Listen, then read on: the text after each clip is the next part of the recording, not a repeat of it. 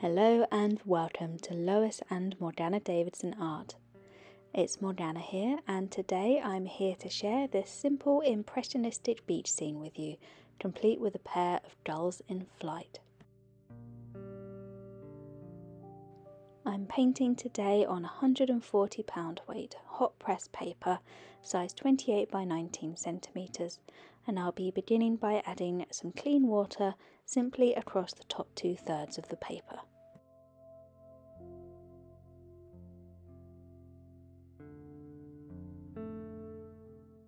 I'll be using the card swipe technique today, which is using the edge of an old store card to apply my paint.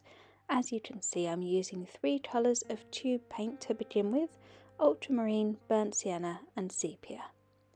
To apply the paint, simply place the card at an angle against the paper and drag it gently across. You can vary the angle at which you're holding the card to create thinner or broader strokes of colour as you can see here.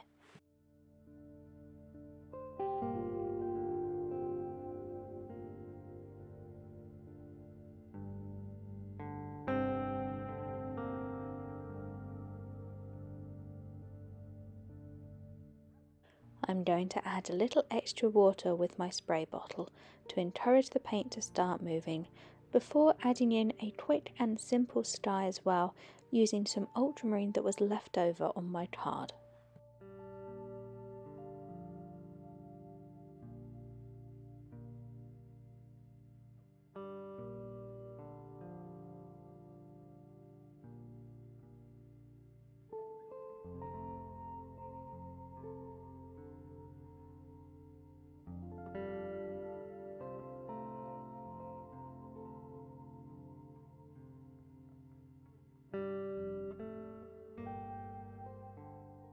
I'm also taking up a nice little blend of my leftover paint colours onto that 2 inch flat brush here to bring in a really nice but simple foreground.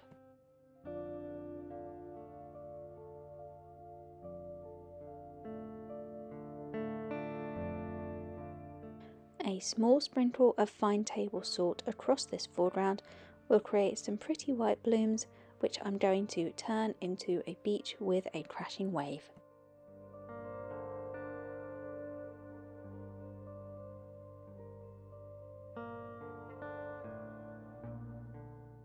If you do have some areas of very thick paint or excess water left over from either the card swipe or the spray bottle, you can always use some clean tissue or absorbent kitchen towel to carefully dab them away. Once you've cleaned up the tape edges uh, with something absorbent to prevent any unwanted runbacks, set the painting aside to dry flat.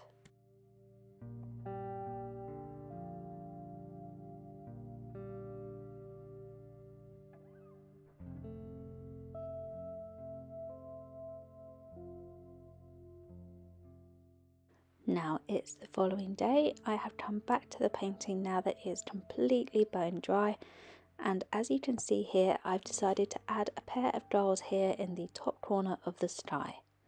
I've just drawn them really lightly in pencil, just the outlines and it's just to get the shapes and composition to a point where I'm happy with it before adding the finishing touches to the landscape first.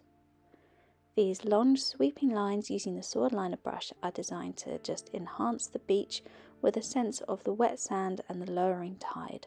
And I'm going to be using my texture brush as well and some white gouache to turn the salt blooms you can see here into some sea foam and breaking waves.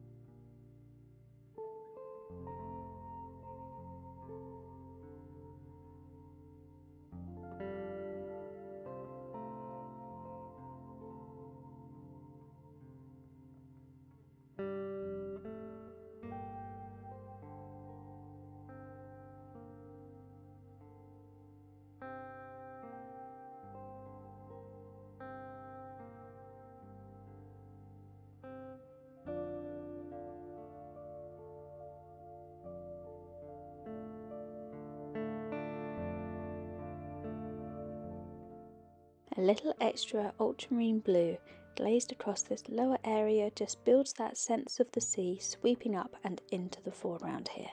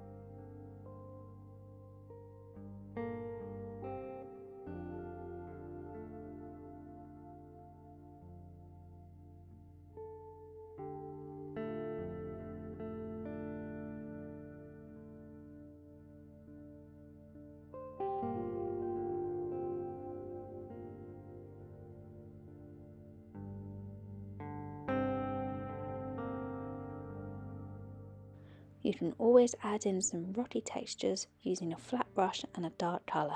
Here I'm using more sepia.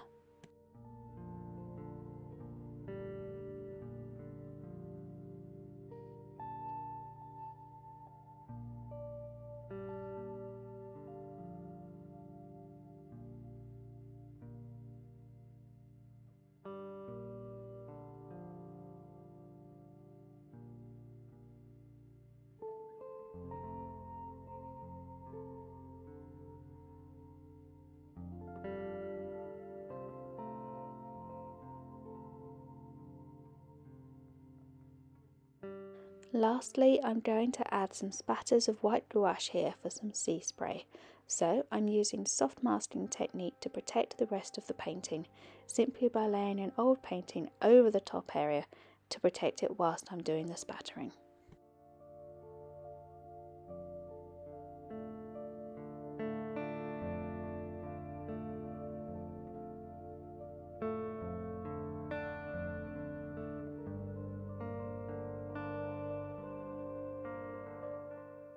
Now all I need to do is paint the birds. I'm doing this using a little white gouache and some Payne's Grey for added shading, as well as a pair of small detail brushes. You could also always use an opaque white watercolour paint or a bleed-proof white ink to do this part. If you do choose to use the ink, as I'm sure most of you are already aware, you just need to make sure you wash your brushes really thoroughly afterwards as the ink can sometimes dry quicker than you expect, which can damage the soft bristles of your watercolour brushes.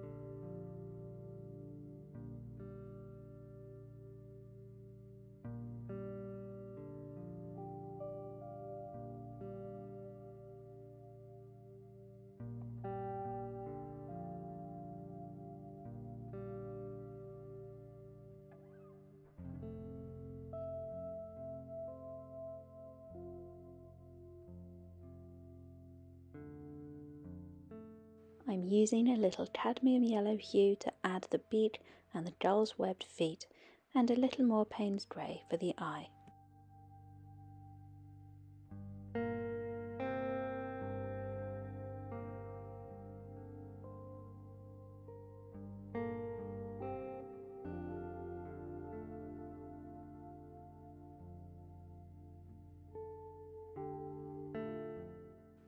Now it's time to paint bird number two, using exactly the same technique.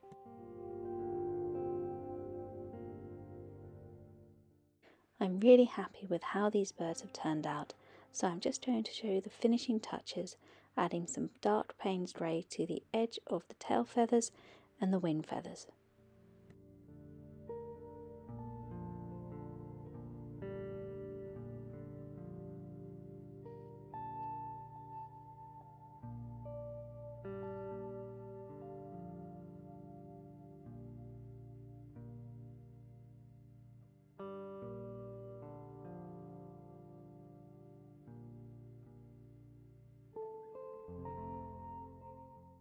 And that's it, the painting is finished, so it's time to remove the tape and see the final piece.